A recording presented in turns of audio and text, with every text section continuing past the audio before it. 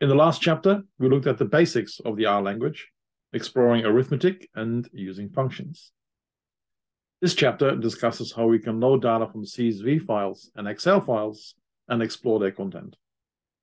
Now we use a clean data set, and chapter 7 shows you how to clean dirty data.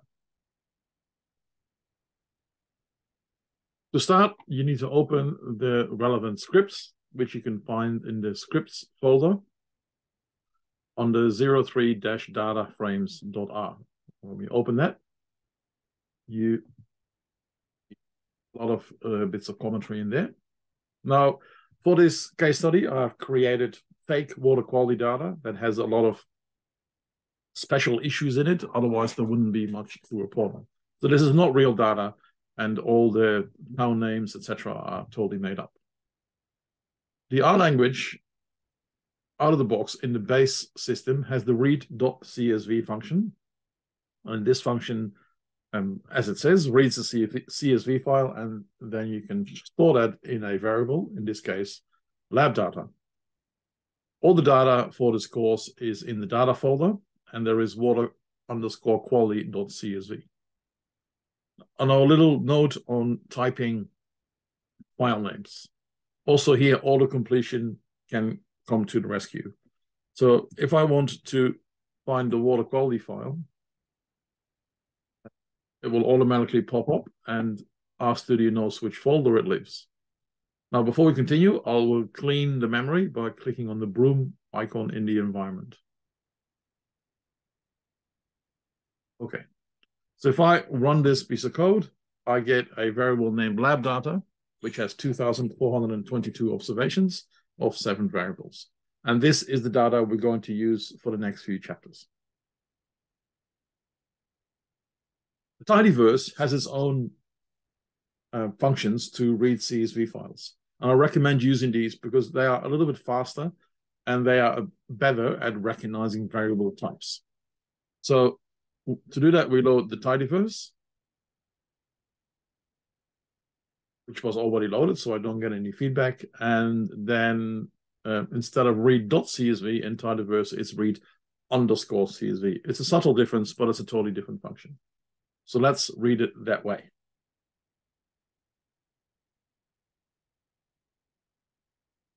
click on lab data, a little spreadsheet type presentation opens up a table.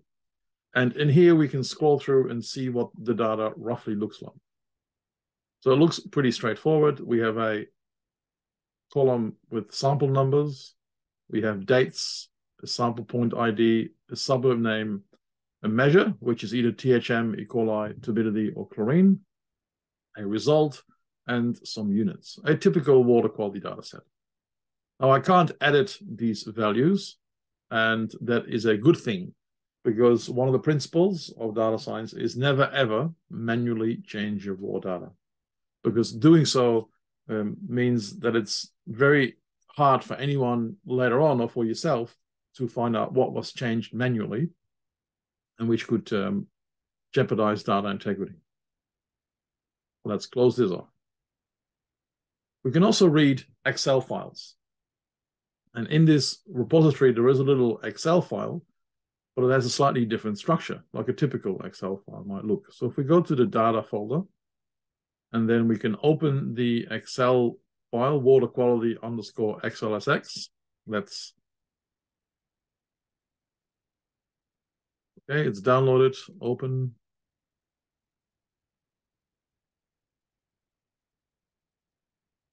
There we go. What we see here, uh, this data set has two rows which have no data in it, and then our data set appears. Also, it's not in the first tab. We have a summary tab, and then there's a data tab. So I want to read that tab and not another one. So back to RStudio. I need to load the library readxl, which is a special library for reading Excel files. And the function name for that is read underscore Excel. We then put in the name of the file. I need to use some additional options. So in this case, I need to say skip equals two because I want to skip the first two rows. Now for each Excel file, that might be different, of course. particular sheet we want to read is data. So if I do this, I get exactly the same result, which is here my lab data. Okay.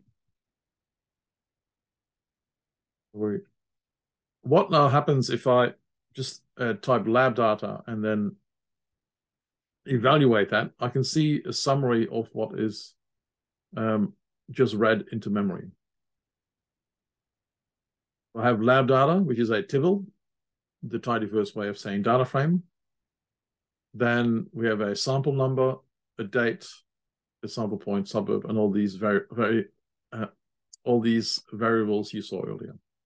It only shows, so a table, so the tidyverse only shows the first 10 rows.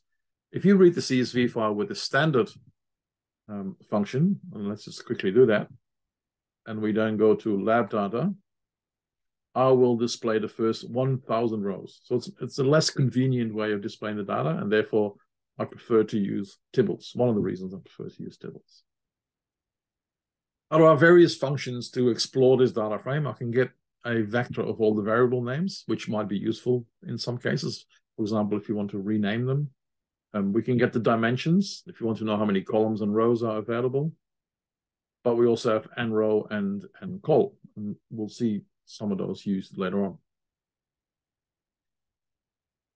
the dplyr package of the tidyverse, the glimpse function is very useful.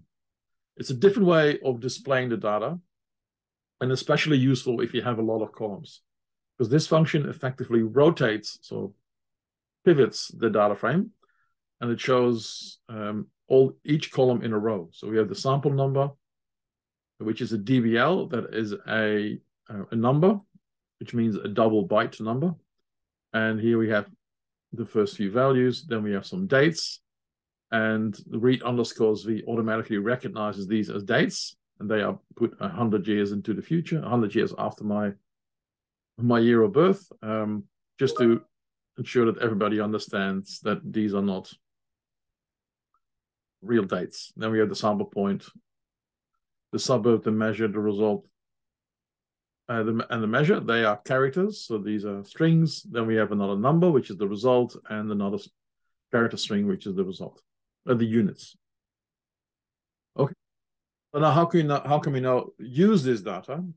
Now to do that, we use the dollar sign. Well, let's remove this for a second. If I have lab data and I type dollar sign, Arnold gives me a completion menu of all the columns that are available. And also some of the values they are not very visible in this um, particular theme but that's okay. So for example we will pick the result. If i hit enter we have lab data dollar sign result. If i evaluate this with control enter i get a vector of all the results that are in this data set but r only shows the first 1000 so it omitted 1422 entries can do calculations with this result, right? I can, for example, say um, mean of um, lab data dollar sign result, and I get an average value, which doesn't mean much because we have uh, lots of different units in here. But anyway, that's this is an example. If we only want, for example, the first 10 uh, measures, we use this semicolon. And the semicolon gives us um, the numbers 1 to 10 between square brackets, and then we have the first 10 results, or whatever you fancy. For example, if you want only result number 1, 3, and 5, we put this within a collection to create a little vector. So we create this little vector of 1, 3, 5, put it between square brackets, and then take the result. Another way of finding information is by using the name of the column.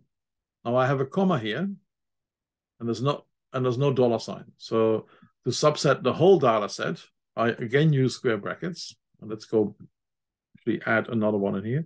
Lab data, square brackets, and let's say um, row 12 and variable 3.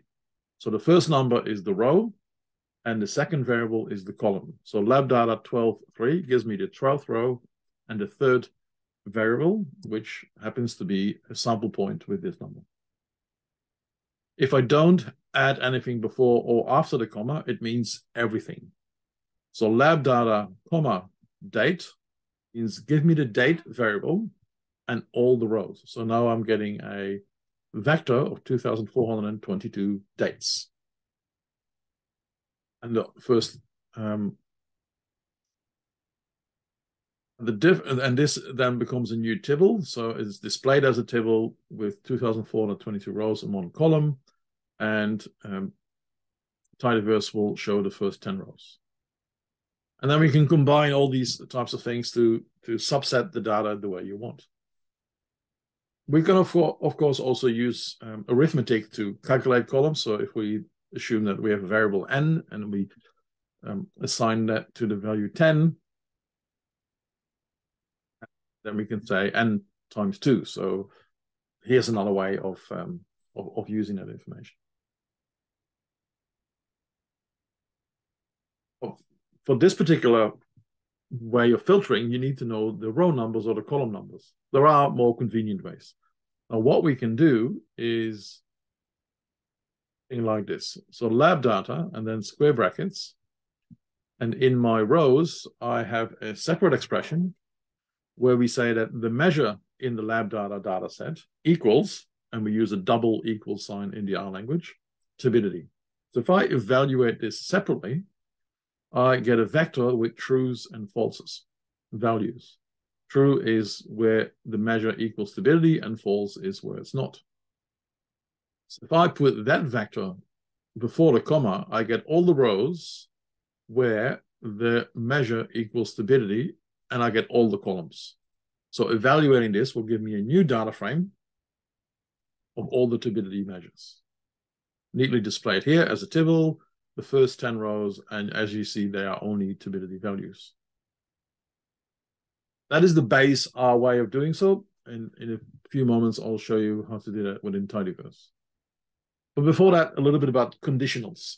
So how do we create these sort of expressions? So let's assume we have a variable and it has the numbers. The variable a up here in the environment, it is an integer with two values, one and two. If I evaluate a equals 1, I get a new vector, which happens to be true and false, because the first value equals 2 and the one, other one doesn't. An exclamation mark and then an equal sign means not equal to. So a not equal to 1 will result in a false true vector. That's a little bit about um, using conditionals in the R language. As we see in a moment, we can also use ands and or to create um, complex structures. Filtering within the tidyverse, there is a function called filter, which, by the way, overrides the base function filter, which works slightly different.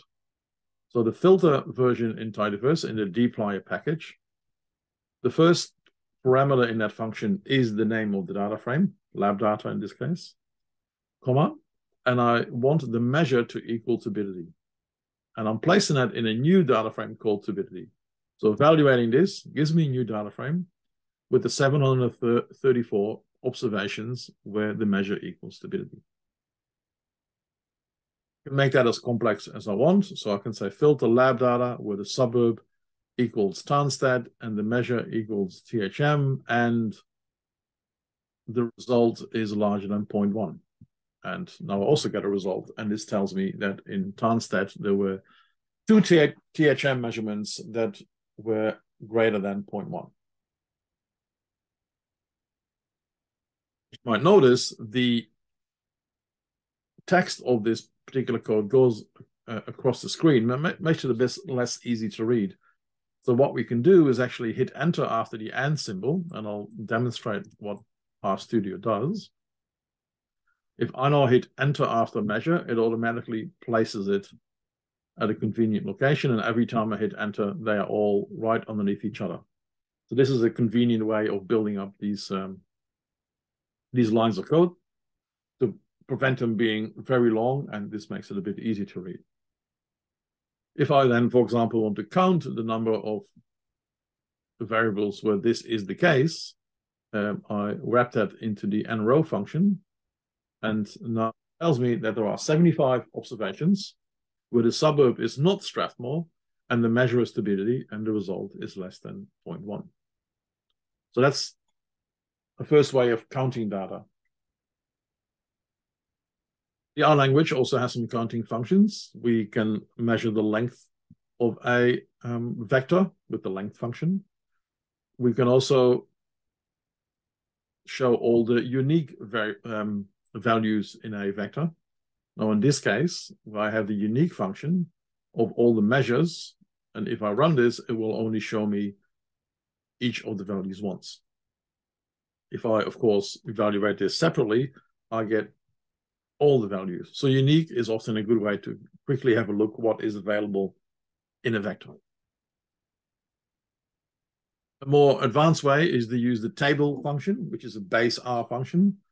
And if I say table lab data dollar sign measure, I get a little table that tells me that there are 760 chlorine totals, 760 E. coli, 168 THMs, and 734 turbidity measurements. You make that more complicated by uh, combining two variables. So in this case, this tells me the number of samples for each measure uh, for each suburb in this um, in this data set. Now the output of this function is a specific type of variable called table, which makes it a bit harder to to work with to do subsequent um, evaluations. So the dplyr library in tidyverse has the count function. I say count lab data suburb comma measure. You see here that we don't have to use the dollar signs, so there's less repetition in my code, makes it a bit cleaner to read. But also the count function in dplyr, the output is a data frame, which makes it easier. I can now store that in another variable and, for example, can start um, doing further analysis after this step. So here's an example how we can combine, now start combining what we've learned and create some outcomes. So first, I'm creating, or recreating in this case, the turbidity data frame. Then I'm creating a new data frame, which is turbidity count, and I'm counting the turbidity data frame by suburb, and the name of the counting variable shall be samples. And then I can view this, and now we see there's or, or 105 samples. So for for example, if this is what I would want to know, I could say turbidity count, dollar sign samples, and I want the mean of that, and I get 104.8. So here's an example of how subsequent steps can lead um, uh, drive your analysis.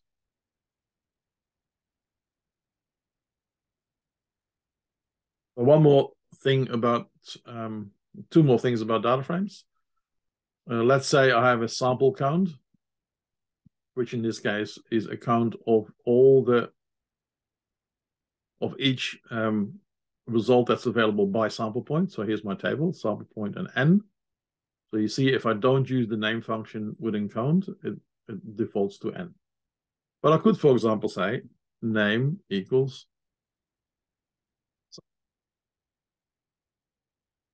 my data frame has a new variable, another variable called samples. You can also arrange that by count, and uh, this will then show me by default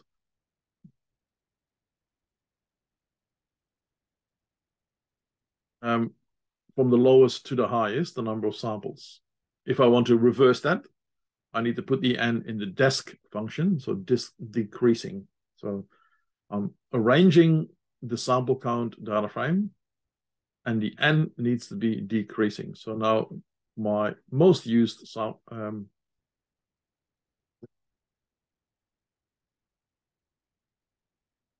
data frame is on top.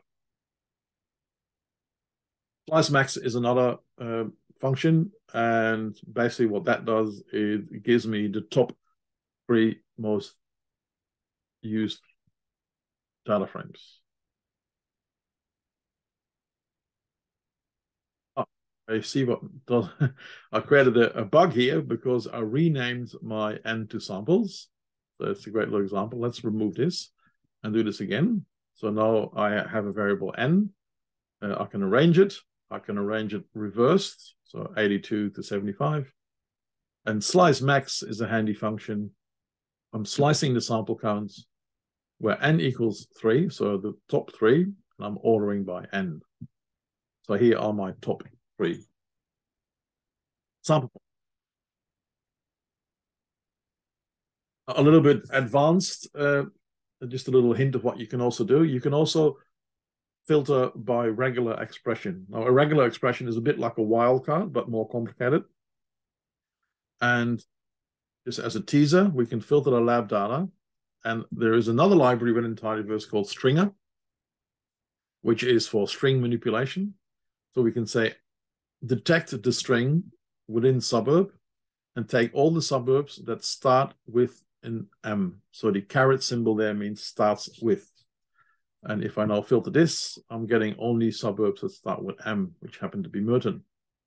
If you want to know more about regular expressions, use vignette regular expressions, and you'll see there's you can create very complex queries this way to sample your data sets. About this, and feel free to purchase my book, Data Science for Water Utilities. Also, feel free to contact me if you have any questions or comments. In the next chapter, we're going to look at generating descriptive statistics from this data set. Thank you for your time.